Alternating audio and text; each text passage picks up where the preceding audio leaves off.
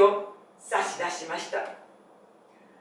ではこれはお金の櫛家の裏口に落ちていて証拠とされた品物です。馬方の女房の櫛としてはひどく立派ですが母の形見ということでした。お坊さんは顔をしかめてうめくように申しました。これは恐ろしい。美しい女子のものではあっても触りとうない品じゃ。下面女菩薩内心の夜叉というがマスターにそうした女子です。つまり亭主も殺すかれないような女ですかな。さよう。しばらく前からそれを考えておるようじゃ。折があれば人思いにと。夫夫から他の男へ心を移しているのですな。確かにそうじゃ。恐ろしいことです。お坊さんの顔は曇りましたがお代官の顔は明るくなりました。ように親指小指で3回分。さえ？なんでこんな長い釘があるの？絶対隣に突き抜けてる。あ待ってきて。隣に上がってきて。えー、一人やと恥ずかしい子供かあんたは、はあ、ほんまに疲れた私ちょっと横になるさかい。大人やろ。あんた一人で早よ行ってきてんか。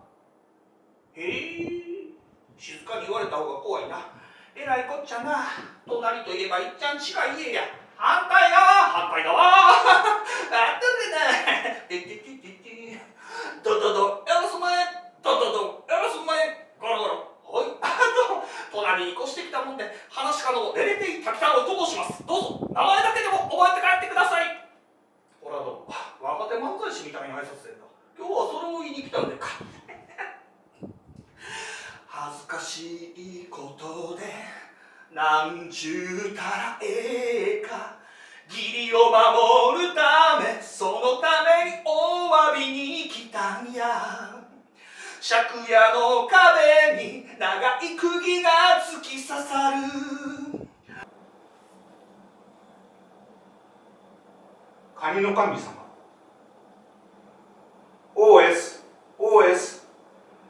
水面を滑るように学生たちの漕ぐボートが遠ざかっていく。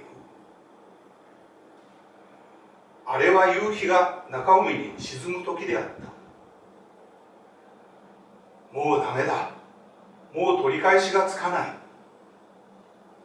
まだ若い私は仕事で大きなミスをしてそれを取り戻そうと昼も夜もなく働いた。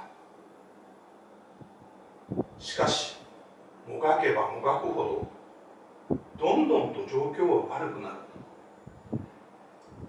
体調もおかしい。睡眠も取れない。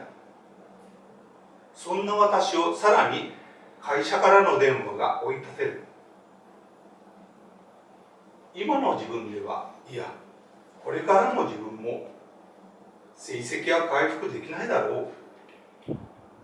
そう。私の周りには付け爪をしている人が一人もおらずまた話題にもなっていなかった。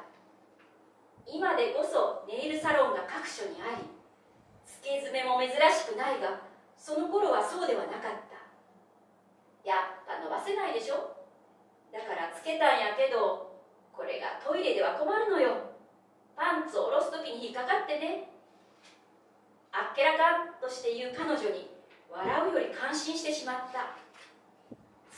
してもピアニストの心得とでも言うべき爪への意識が教え子たちに浸透していることを再確認した瞬間でもあった。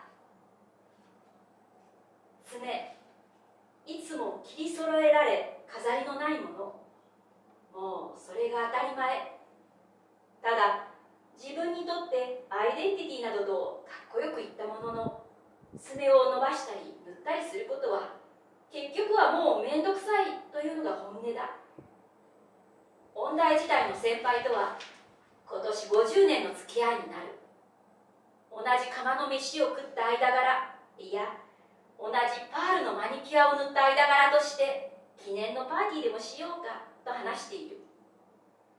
コロナ禍の今それも難しいことかもしれないが2人でパールのマニキュアを塗り連弾でもできたらどんなに楽しいだろう。ただし50年の年月はもうすっかりマニキュアが似合わない手になってしまったが。